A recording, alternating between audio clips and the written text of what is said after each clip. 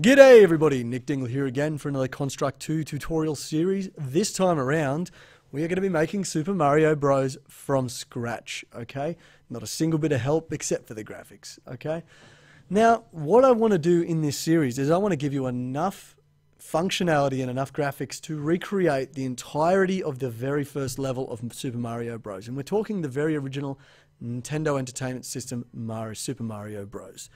Okay? So I'm not intending to add every single bit of functionality for the entirety of the game because that would just be absolutely massive.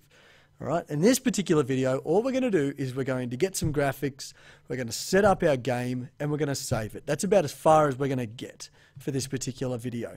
The next video, we'll move on to Mario himself. But before we go too far, in the description of the video, there will be a link to download a zip file of Mario's sprites. And this is what you'll end up getting once you download it. Okay? This is what you call a compressed folder, okay? Or a zip file if you know what that is. Okay, inside here is a folder full of graphics that we're going to use for every single animation and every single, I suppose, sprite of Mario. Okay, and the first thing we need to do is get that folder outside of the compressed folder because we can't work with it inside here. So, let's create a brand new folder where you're going to save your game. So I'm just going to put it in my downloads folder for simplicity. Super Mario Bros. All right. Inside that folder, I want you to create another folder again. It's going to be called GFX for graphics, okay? For me, because I'm a simple type, all right? Now we've done that, I'm going to go back to the compressed folder, okay? Open him up, copy this directory by right-clicking and going copy or Control-C if you know that shortcut, and go inside your GFX folder and paste it just here. And that's every single image of Mario that we're going to utilize. And I've prepped it so they're all facing the right way. The background is transparent. And the majority of them is the, are the right size, I should say. With that done, I'm going to go to Construct. So if you need more time, pause the video, okay, and go get that ready. So first of all, let's create a new blank game. File, new, new empty project, and we're good to go. Before you click on anything or do anything at all, let's name the game. Super Mario Bros. with a full stop because that's how it used to be written. The next one, if you want to set a description, author, email, website, that's entirely up to you. But what we need to change is this window size value because this is quite large, to be honest. And because Super Mario Bros. is such an older game and it's basically a couple of pixels across each character, okay, we need to change this width and height for the window size. The width is going to be 256 and the height is going to be 224. All right. If you know why that's the case, why those numbers are like that, okay, put it in the comments, okay? The first person to do it gets a thumbs up. Anyway, the last setting we're going to change over in the properties is this sampling one, okay? And the reason I'm changing this is because right now it's set to a linear property, as you can see.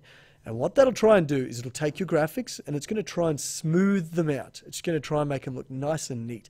What happens, because Mario is so pixelated and so small, it makes him blurry. All right?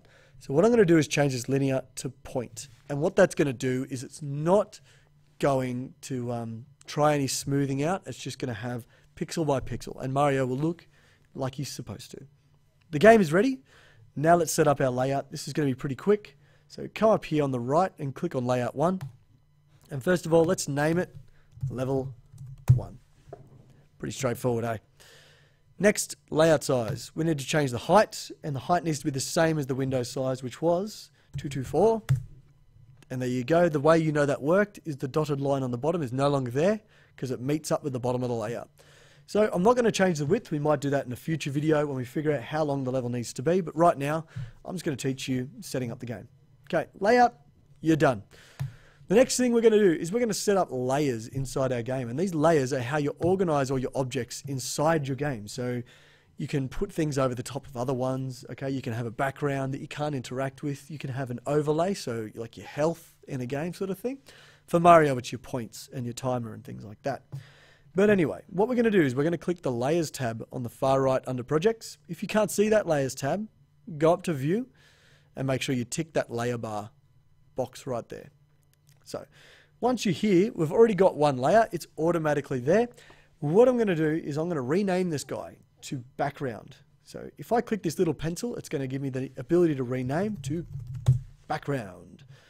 And now we're going to add the rest of them. And ready for it? Let's click add.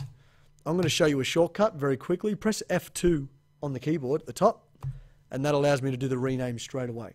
So let's add all the layers. So we've got background, level, blocks, enemies, items, Mario, overlay, HUD. All right.